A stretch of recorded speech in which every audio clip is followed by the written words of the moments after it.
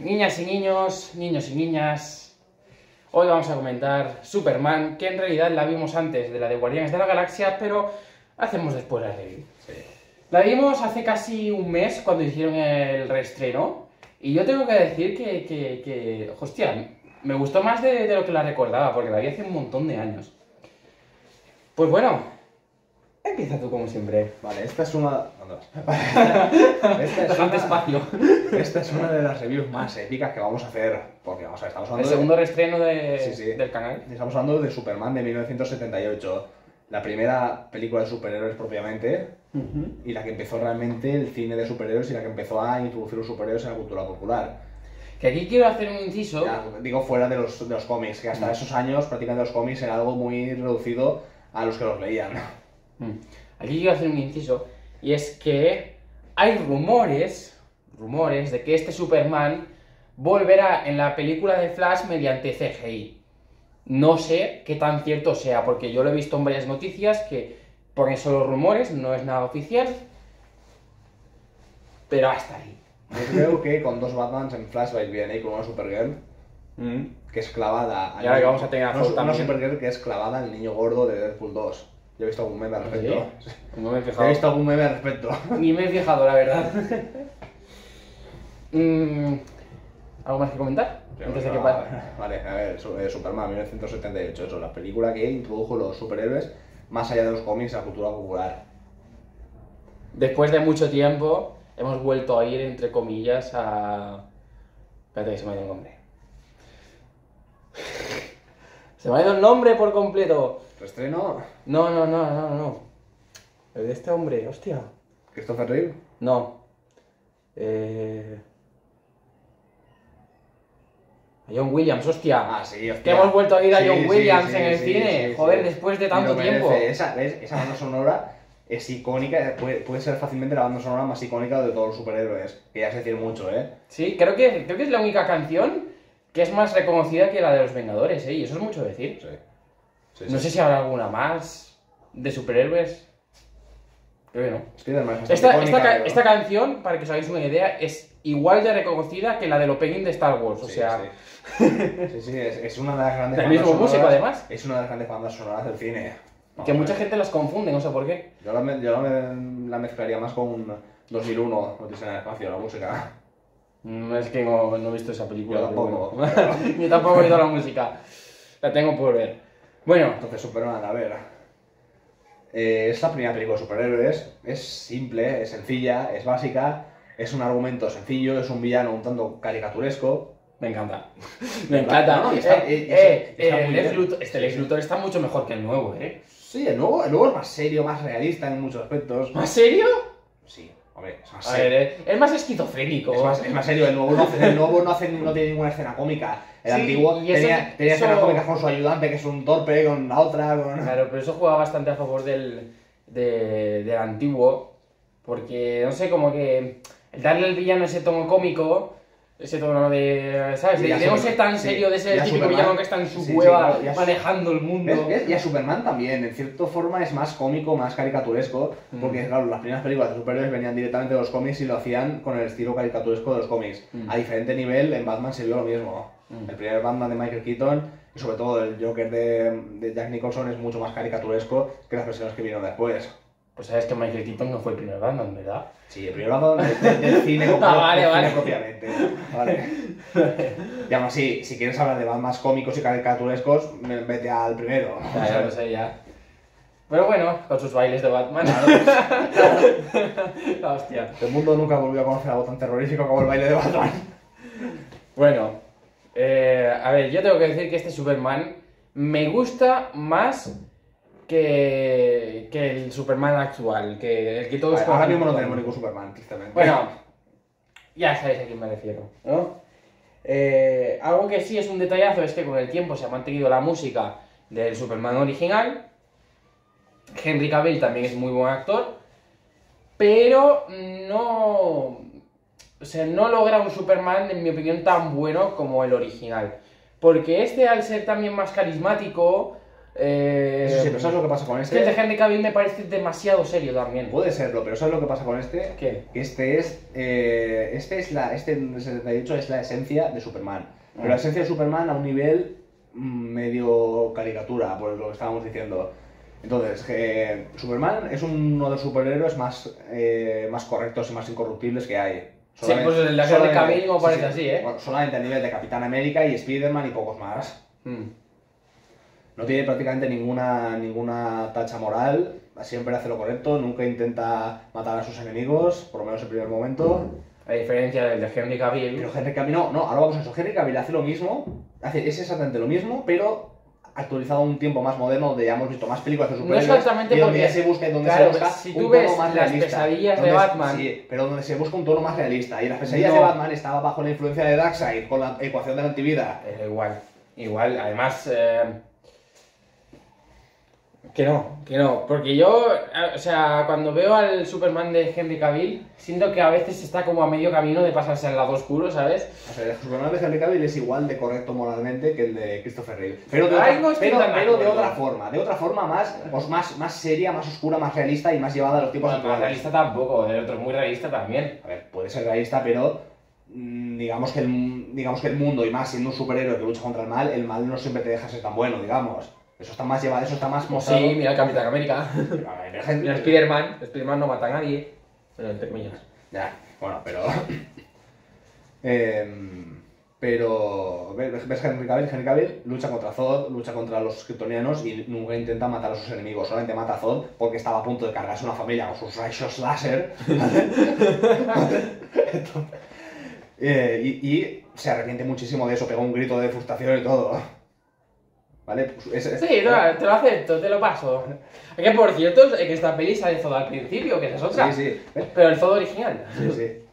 Eh, la Que creo que es protagonista, no sé si en la segunda o en la tercera, o no sé cuál era, la verdad. Pero. Eh, Fue un acierto hacer eso si pensaban hacer la segunda, que pensaban hacerla, porque ya en ese momento ponía Superman 2 el año que viene, ¿no? Entonces yo creo que fue un acierto presentar como principal enemigo, como primer enemigo de Superman a, a Lex Luthor. Luz- Luthor en esta película tiene un buen plan. Tiene un buen plan, pero es pero caricaturesco. Voy a hundir la, fa- la, la falla de California y voy a convertirlo en la isla de Lex Luthor y, para, y gobernaré el área de los tres estados. ¿Vale? Vale, me faltaba decir eso, me hace un plan... Y el gordito, eh, el amigo gordito, el asistente gordito, que era Sí, más torpe es- que la madre que lo parió. el- el Que, ayudante torpe, que también sí. quería crearse una isla, el hijo El puta. ayudante, el ayudante torpe. La, la, la ayudanta tonta. Y Les Luthor que tiene un plan que parece de, de Doffer Sí, ¿ves? Vamos ¿Ves? a ver. Es que la, es, la peli realmente, la peli es- realmente está hecha por cuatro personajes, pero que están muy bien llevados Eso todos. sí, eso sí. ¿Sabes? La- y, a la- veces, y en estas cosas, o sea, te das cuenta de que en muchas cosas el cine de antes en este aspecto era mucho mejor, sobre todo DC, DC concretamente era mucho mejor antes que ahora. Vamos, solo hay que ver las pelis de Batman, El Caballero Oscuro, las de Superman, De. Batman. De Batman. Sí, de Batman, pero no es DC del universo cinematográfico de DC. Y, las es- otras- y todas las demás tampoco. No, tampoco lo son. No. Sí, no. Pero, pero, pero eran como lo que tenían en su momento. O sea, eso no sí. había un universo cinematográfico, tenían esas pelis. Eran como las principales. De Batman es secundaria. De Batman está. No, Es secundaria, sí. secundaria. Lo, lo principal es el universo cinematográfico. Batman está Batman es- es- secundaria. es aparte, no significa secundaria. Más secundaria. O sea, si ahora DC tuviese que quitar uno de los dos, quitaría de Batman. No, de eso nada. Mira lo que han hecho. Bueno, mira, eh, mira la decisión que han tomado, eh. Que ahora tenemos a tres Batman en, en el cine, vaya, activos a la vez. O sea, Ben Affleck, eh, eh, hostia, Michael Keaton y este actor que nunca se, nunca me acuerdo del nombre, la verdad. Pero bueno, el de Crepúsculo. No, ya, de ya nunca se ha recordado por Crepúsculo, ahora es Batman. Es Batman. Le queda mejor este papel que, que el de Crepúsculo, sinceramente. Pero bueno, a lo que íbamos. Eh, yo me quedé extrañado al principio de la peli por dos cosas.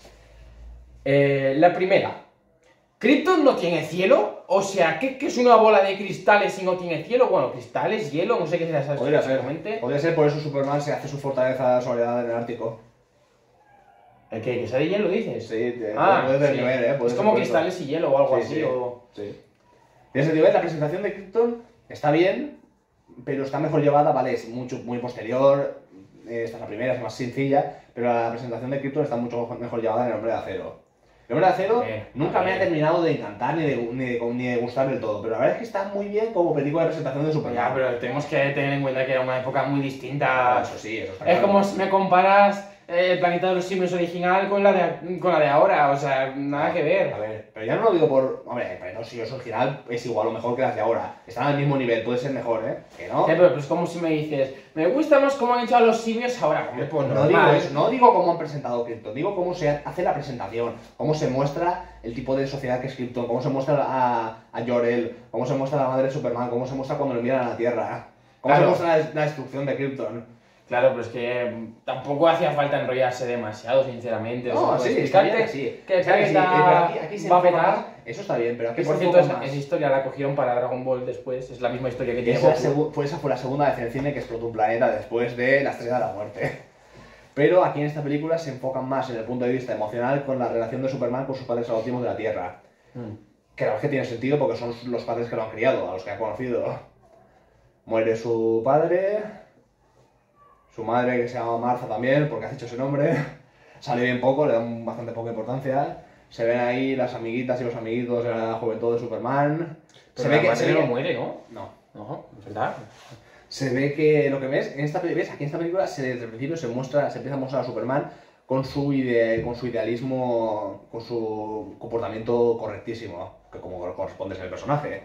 Empieza a usar sus, sus poderes a su Superman. beneficio, lo- adelantando un tren para vacilarle al tío del coche, y el, el padre dice que no lo haga, y él dice, porque no estoy resumiendo, presumo pájaro cuando vuela, esas tres frases son muy buenas. Y eso más o menos hicieron lo mismo, pero de otra forma, con Henry Cavill cuando salva el autobús, el padre Y el Spiderman, que los tendría porque que haber- ahí los padres adoptivos- sí, sí, sí, ahí los padres Le adoptivos dice que de los Clark tendría- Kent- Los tendría que haber dejado morir y él dice que no los habría dejado morir. Los padres adoptivos de Clark Kent son, vamos, eh, no te voy a decir un calco porque son anteriores a los de Spider-Man, pero son como los tíos de Spider-Man. o sea, Evidentemente, por, o eso sea, Stan Lee es el- por eso Stan Lee plagió todo de Pero vamos, eh, es que el, el padre adoptivo es un tío Ben 2.0 que muere y todo y demás. Y ya solo le faltaba decirle un gran poder conlleva una gran responsabilidad. Le dice cosas parecidas, ¿eh? Sí, porque es literalmente Pero la filosofía es anterior, pero Ya, ya lo sé, ya lo sé, ya lo sé, ya lo sé. ¿Qué más cosas tenemos? Eh, eso, vale, entonces Superman se decide irse, encuentra la fortaleza de su soledad, encuentra...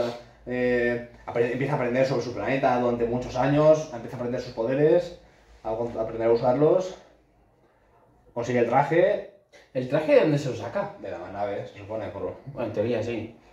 Em. Vale, pasa el tiempo, Lois. Eh, vale, vale, este Superman, mira. Vale, vale, vale. Vale, Eh, vale, Superman, ¿no? ¿Ves? Es mucho más caricaturesco, incluso también eh, Clark Kent. Que por cierto, son tres actores los que interpretan a Superman en esta peli, ¿no? O sea, el de niño, A ver, el, el de adolescente. a ver, el bebé, el niño. Sí, El bueno, adolescente. cuatro, cuatro. Sí. Bebé, niño, adolescente y adulto. Joder. Vale. Eh, Que ese eh, niño, ya- el bebé, digo, ya tendrá unos 45 años, sí, ¿eh? No puedo decir, pues soy Superman. nadie, nadie le- nadie le creerá porque no salen los créditos, pero. ¿No salen los créditos? No lo sé, no, sé, no suelen salir. Bueno, vemos el niño pequeño que sale de la nave, ese también tendrá 50 y algo, supongo. Mm. Sí que sigue vivo, que supongo que sí. Sí, digo, vale. Entonces, este Clark Kent es mucho más caricaturesco que el de Henry Cavill. Es tan, tan, tan torpe, tan tontito, tan, tan correcto, ¿ves? Es tan correcto incluso con el tío que le apunta con la pistola y le quiere atracar. Claro. ¿Ves? ¿Ves? Y Henry Cavill es igual de correcto, pero de otra forma, de una forma menos caricaturesca. Es igual de correcto, pero de una forma más seria. No, no, tan, no tan tontito, digamos, tan Que caricaturesco. por cierto, que por cierto, ya que estamos mencionando eso, cuando está en el Daily Planet, que para nada se lo copió Stan Lee para hacer el Daily View, que ni nada Vamos a de eso. Vamos a ver, Stan Lee, Ni nada de eso. Es, es muy pringao, eh. Es Es muy Esa eh. Y, y el jefe, al, al estilo de J. Jonah Jameson, eh. Joder. Ya solo le falta estar criticando a Superman a tope, eh. claro. Superman, héroe, héroe, o amenaza. Amigo o enemigo. Joder. Eh, es muy Spider-Man en ese aspecto. Bueno, en realidad Spider-Man es muy Superman en ese aspecto. Claro. Eh, pero es que sigue muy pringado. O sea, te lo ves como Peter Parker en la trilogía de Sam Raimi. ¿Sabes? Que, que, que va de lado a lado, el tío Es- va, es- va siendo torpe. El personaje es muy parecido, muchísimo. Sí, sí. O sea, es un superhéroe muy correcto, que su verdadera identidad como civil es un torpe. eh, es un torpe timidillo. Que eh, trabaja en un periódico, ¿vale? Para un jefe que le exige fotografías de. de- es prácticamente el mismo base, el mismo base del personaje, pero la- el gran aporte de Spider-Man fue, uno, el tipo de poderes, muy imaginativos, fue una gran- fueron grandes ideas, No, claro. y sobre todo cambiarle la edad, hacerlo un chaval, hacerlo un joven. Superman siempre ha sido más mayor que Spider-Man. No, eso es lo que dicen, pero tiene 21, 22, dicen en la peli. Tampoco no puede ser que tenga. Lo dicen en la peli, lo dicen en la peli. Dice, tengo. No, no, dice, tengo más de 21, para no decirle su edad. Mm, bueno, sí, también Además, podría ser. además cuando muere eh, su padre adoptivo, tendrá 15, 18, 20, una cosa así. Se supone que pasan 10 años hasta que se convierte en Superman como tal. Bueno, Entonces tendrá tirando a 30. puede ser por ahí, sí. Además, Algo que también copió Stan Lee es el interés amoroso. es una pelirroja. Vamos a ver, vamos a ver, a ver. Ay. Esta Lois es más. eh, más egoísta que, que otras versiones de Lois Lane. ¿Egoísta en qué sentido? Que básicamente lo, lo, lo usa de, de sirviente al principio. Le dice, tráeme estas cosas, tal, no hace mucho caso, es bastante altiva, al principio Mm. por lo menos. Después ese, ese vuelo que hacen eh, es una de las escenas más icónicas de la historia del cine. Y esa escena, la- el concepto de esa escena dio para muchas versiones más de, de vuelos románticos en películas. Así como cuál. Como Cómo entra tu dragón. ¿En cómo entrenar a tu dragón? Sí. Cuando has sentado. De la primera. Y Pollastri. Buah, no me acuerdo. Me he quedado en blanco, no me acuerdo. Pero bueno. Em, Se salta bastantes leyes en la física esta película, porque A se ver, va. A ver, si a él- ver, si todas las de eso- superhéroes lo hacen. Eso está claro, pero, pero ahora lo tienen más controlado eso, ahora lo tienen más de una forma. ¿Ves? Lo hacen de una forma más realista dentro de la, dentro de la ficción. O sea, si Superman va volando y coge a Lois de la mano, ella se caería, evidentemente, ¿no? no, Vamos a ver, ella extiende los brazos y vuela también. No. ¿Qué pasa? Si va volando y la coge de la mano, por la propia aceleración se mantiene en el aire. Pero, Y por el viento. Sí, claro, pero, pero él va mucho más rápido que ella, porque él la va sujetando. Si estuviesen cayendo sería otra cosa. ¿Cómo, cómo, Si cómo? estuviesen cayendo. ¿Dices si están yendo recto? Sí, porque él la lleva, él la No, no, sí, te mantiene el propio aire que es la de frente. Pero no están cayendo, van, van en línea recta. Igual, aunque vayas en línea recta. Tú has ido en línea recta volando así, eres Superman. Pues sí, yo me tiré por la caída, pero, eso- listo. pero vas bajando, desgraciado. Pero igual, te mantienes recto, te Pero mantienes Pero recto. vas bajando en línea vertical. Pero si lo tienes cogido y vas acelerando así, el propio viento que te va dando te va manteniendo así. Sí, pero. Es como los, como los, como las, eh, la especie esta de las letras que se ponen a la Sí, gente que el- va volando así recto y Sí, se el, mantiene tra- el recto. traje, sí, pero, pero. Sí, pero él mismo es el que se mantiene. Sí. No lo va sujetando otro. Porque Superman es. Superman es el que vuela y la coge de los deditos. Hombre, eso tirando al final, y más en una altura tan grande, con tanto aire, que yo creo que les daría así, porque se notaba mucho que le daba el aire. Sí, si estuviesen cayendo sería otra cosa, pero van en línea recta. Bueno, O van cayendo con estilo. También es una opción. puede ser un poco de cada, pero. Hombre, Vale, Lex Luthor. Lex Luthor tiene un plan mejor montado que el nuevo. Tiene más simple, más caricaturesco, pero mejor montado. Se le ve más, más inteligente, más arrogante, más de todo. Sí, que aquí quería mencionar yo algo, y es que cuando en la escena del tren el policía está persiguiendo al, al pringao y se pone ahí escondido en, el hueco este. Tío, estás viendo que viene el tren, que se está cerrando la pared. ¿No sabes ponerte al otro lado? Que solo tienes que dar dos pasos para cruzar la vía, atontado. Ya no le daba tiempo, bueno. Ya no le daba una, tiempo. una es ahí dos. Lanzarte hacia un tren que viene y que no sabes calcular muy bien a qué distancia está, tampoco está tan fácil, ¿eh? Ay, bueno. Entre que parecía que pasaba a 5 km por hora, pero bueno. ¿Y qué más podemos comentar? Eso, este Lex Luthor tiene ahí su guarida de villano, Mm, tiene su sirvienta de villano, tiene su sirviente tonto, mm. tiene sus planes que le salen mal, tiene sus rabietas de villano. No, realmente le sale bien. Pero Pero no, digo que le sale mal lo de, por ejemplo, lo de robar la, la información de los cohetes. Ah, claro, pero por los amigos gilipollas. Por eso, por eso. ¿Ves? Es que esta peli es como, como una parodia. ¿Ves? ¿Ves? Tiene momentos de comedia que no suelen Sí. tener las películas modernas de este tipo. Mm, O si es comedia es de otra forma. mm. Y que quería mencionar que, que es eso, que al final no fracasa como tal, sino que es Superman el que revierte el tiempo y lo ver, cambia no, todo. no consigue lo que quería. A ver, consigue su objetivo, pero Superman vuelve atrás el tiempo, claro. ¡Regresa el tiempo! ¡Regresa el tiempo! Vale. Claro, que aquí mi teoría es que, es que no está regresando el tiempo cuando está haciendo que la, la Tierra gire al revés, sino que lo que está haciendo es acelerar más rápido que la luz para que el tiempo vaya hacia atrás y por eso vemos a la Tierra irse hacia atrás. Creo yo. Sí, eso es lo que yo he entendido siempre, que habéis entendido tú. Yo, de- cuando era pequeño, siempre entendía que retrocedía el tiempo porque le daba la vuelta al planeta. O sea, pero eso, eso sí no funciona, vamos a ver. Hombre, es ficción, Dale, incluso dentro de la ficción eso sería poco creíble. Que dándole una vuelta al planeta, vuelvas atrás en un día. Vamos a ver. Hombre, es como que echas el día hacia atrás, ¿no? El sol se vería Eso, otra vez este Superman- las horas de antes. Este Superman puede ser fácilmente el más poderoso de- de- del cine, ¿eh? Sí, eso seguro. Seguro. Lo es, lo es, vamos. Bueno, Henry Cavill ha hecho más demostraciones de Henry. Cavill nunca ha superado la velocidad de la luz. Eso seguro. Y este- Más lo que le costaba subir para el espacio, ¿eh? No, o sea, Era más este lento. Supera la, velo- eh, supera la velocidad de la luz varias veces, rodeando la Tierra y levanta toda una, toda una fosa, toda una. toda un- una falla. Sí. Levantan básicamente toda una, plata, toda una placa tectónica. Eso Henry Cavill no es que no pudiese hacerlo, yo creo que sí que lo puede hacer, porque ya en la Liga de Justicia mencionan que es más fuerte que un planeta. Claro. Henry Cavill sí que podría hacerlo, podría llegar a ese nivel, pero nunca lo ha demostrado. Bueno. Para mí sigue siendo el mejor Superman de todos. Estaría bien, la verdad, en la película de Flash que... Podría estar bien, sí, que saliese, aunque fuese, aunque fuese un ¿Sería cambio. un CGI? Aunque fuese un cambio por CGI, estaría bien. No sé si lo harían... A ver, no creo que lo hicieran desde cero. Yo creo que cogerían un doble, como hicieron en Star Wars, y le pondrían eh, en plan la cara por encima. ¿No? Como hicieron Sí, sí.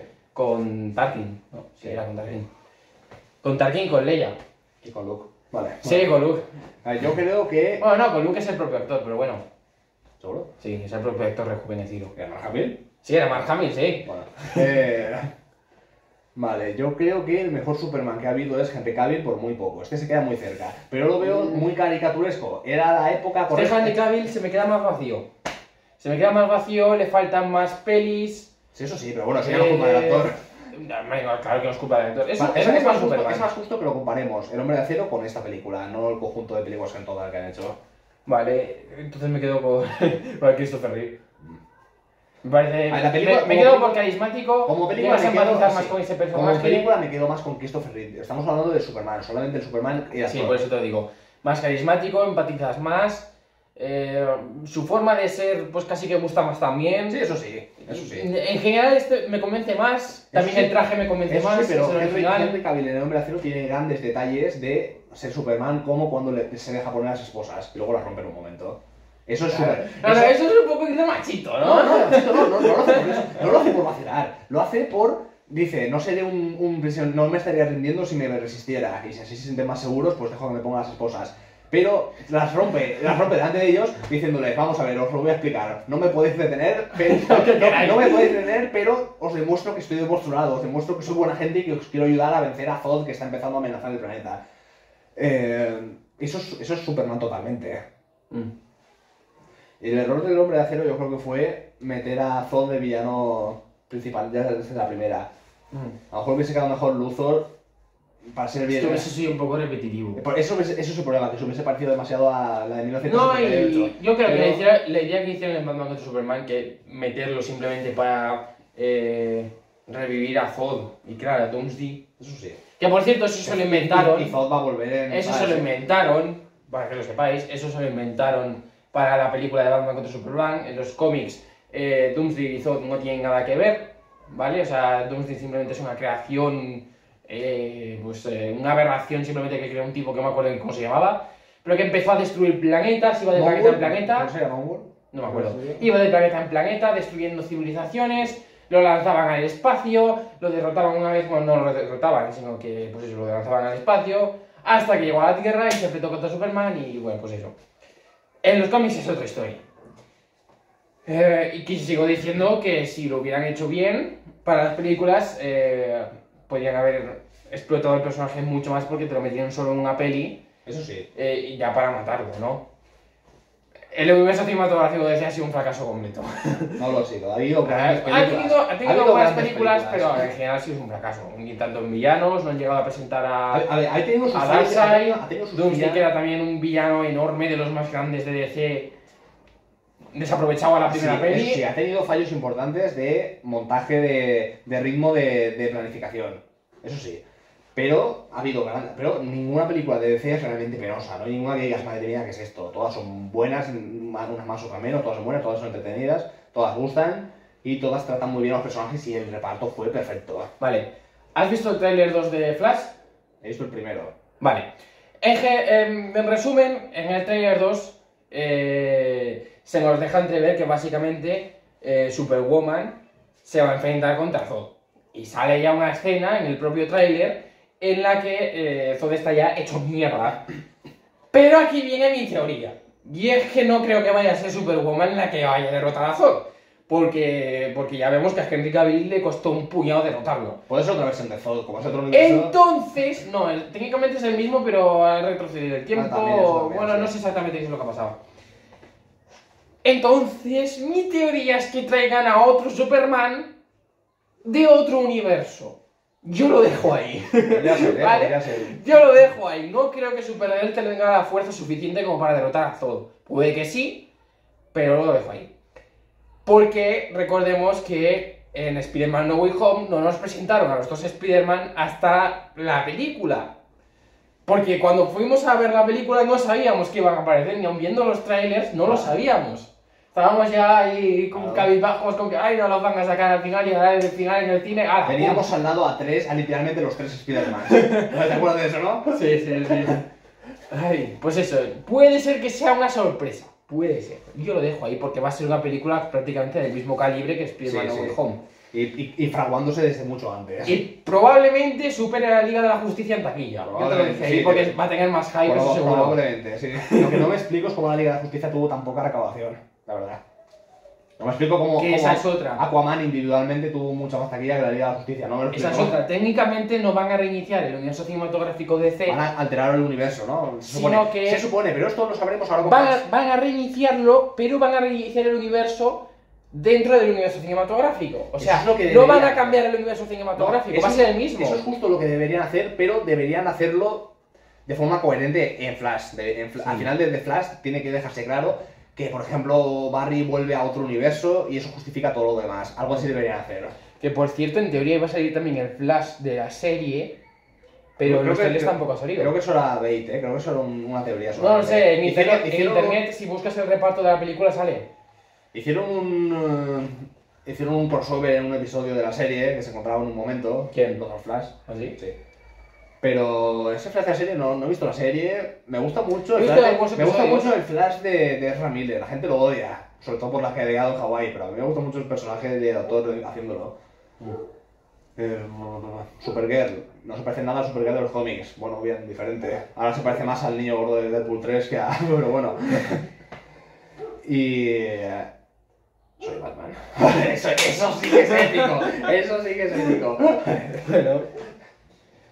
Pues nada, gente, lo vamos a ir dejando por aquí porque llevamos pues, prácticamente media Sí. hora. Para ser un reestreno, yo creo que. Bien. Sí. Eh, bueno, valoraciones. Valoraciones. Es la primera peli. A ver, también hay que- hay que tener en cuenta una cosa: es la primera peli de superhéroes, ¿vale? Es muy entretenida para ser DC, eh, que por lo general, sin contar las de Batman, las películas de DC no suelen ser grandiosas, por así decirlo. O sea, las más grandes que tiene pues, son las del Caballo Oscuro. Eh, y, y para ser, pues eso, la primera de superhéroes y en una época de hace más de. de- ¿Cuánto ha pasado? Ya 40 45 años, ¿no? Era el. No sé, 45. Eh, ¿Cuántos años han pasado ya, tío? sí, 45 años. Sí, sí. 45, ¿no? Pues eso. Que. Para haber pasado tanto tiempo, o sea, para ser de esa época de los 70 y demás, le voy a dar 5 estrellas. Yo 85 años desde la creación de Superman. Sí, claro. Le voy a dar, eh, pues eso, 5 estrellas. Para la época está muy, muy bien. Bueno, y hasta para la época actual Sí, está sí. muy bien. O sea, para la época actual coges la misma peli, le pones eh, el CGI actual y pum, ya tienes un- una obra de arte. Y, y ya está, simplemente, le- como nota le voy a dar también un 10, porque La he disfrutado mucho en el cine, sinceramente. Mucho mejor de lo que la recordaba porque la vi cuando era pues, un crío. Y no la recordaba casi. Pero la verdad es que me encantó. Eh, me partí de risa en varias escenas. Sí. Cosa que no suele suceder con DC, porque la risa es más de Marvel. Y, y pues eso. Y le voy a dar.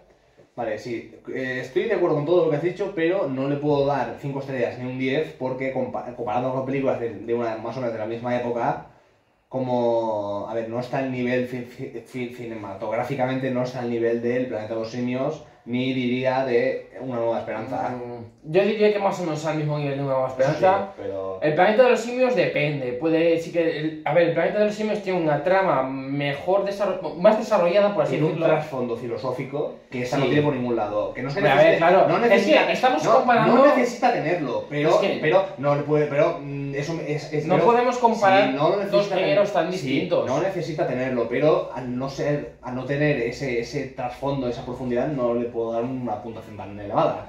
Entonces le voy a dar un 8 y un 4 estrellas. Bueno, bueno. Pues se quedaría pues, en unas cuatro y media y un 9, Sí, siendo la media, sí. más o menos. Vale. Pues eso, gente. Lo dejamos por aquí. Esperamos que os haya gustado. Y la próxima película que tendremos por comentar, ¿cuál será? Em, no vamos a venir a ver Mario Bros, ¿verdad? No. Vale. No, nunca me ha gustado Mario Bros. A mí tampoco, pero te invita muy bien la película. He jugado a algunos juegos así en plan de, de- de- de los antiguos y el Mario Kart. Tampoco vas a venir a Sirenita, ¿no? No, Vale. no, no. Pues no me la entonces creo que- por ningún lado. Entonces, siento, creo que, pero- entonces creo que será. Eh, ¿Qué has dicho que? Que no, no, no me la trago por ningún lado, no. Entonces creo que será. Eh, a- Across the Spider-Verse. Hostia, ¿no tenemos ninguna antes? Creo que no. No. Marvel este año tenemos la de Spider-Verse y cuál más? Em, Vale, Spider-Verse y The Marvels. Ya no quedan más. Hostia. Mira, hemos eh, visto ya dos, ¿eh? Sí, ahora que estoy pensando en la de Flash. Para el 16 de junio. Es junio. Sí. Hostia, ya el mes que viene, ¿no? Ah, Entonces no sé. Claro, la de Spider-Man cuándo Es el 2 de junio. Ah, hostia, pues las tenemos muy pegadas. Sí, ¿eh? ya, Van a eh. competir en taquilla, ¿eh? Las dos del multiverso Sí, también, sí, sí. ¿eh? Eh, yo sigo apostando por Flash. Ya no, no lo sé, sigo apostando por Flash. Hombre. No sé. Pero bueno. Que por cierto, a ver. Ten en cuenta que en Spider-Man va a aparecer también. Ya sabes quién va a aparecer. Marco, ya se te ha olvidado, tío. Bueno, Stacy. ¡No! El espectacular Spider-Man, Ah, hombre. claro, no te acordabas, tío. Si la íbamos a ver por eso. Claro, hombre, no claro. hemos visto aún la primera. Y no está en Disney Plus. Mira que son lentos los de Disney en ponerte la peli, eh. Pero bueno.